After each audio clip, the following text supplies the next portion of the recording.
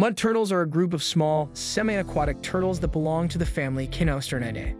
There are several species of mud turtles, but they share many similar characteristics.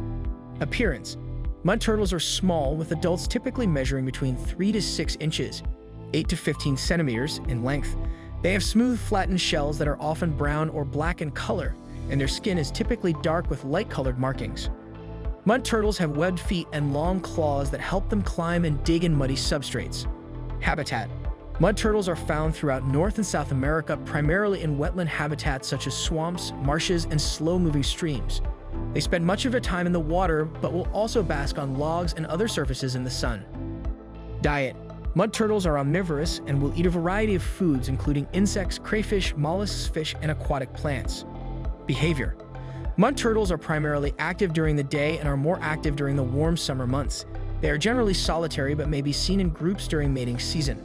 Reproduction Mud turtles breed in the spring and summer, and females will lay their eggs in sandy or muddy areas near the water.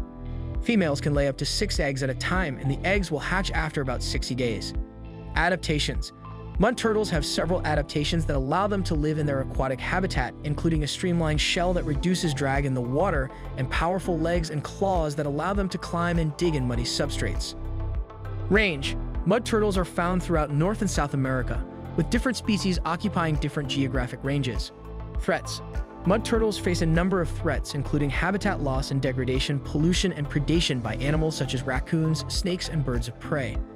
They are also vulnerable to road mortality and the pet trade.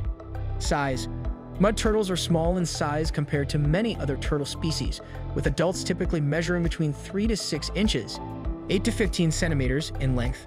Females are generally larger than males. Lifespan Mud turtles can live for several decades in the wild, with some individuals living up to 50 years. In captivity, they can live even longer if properly cared for.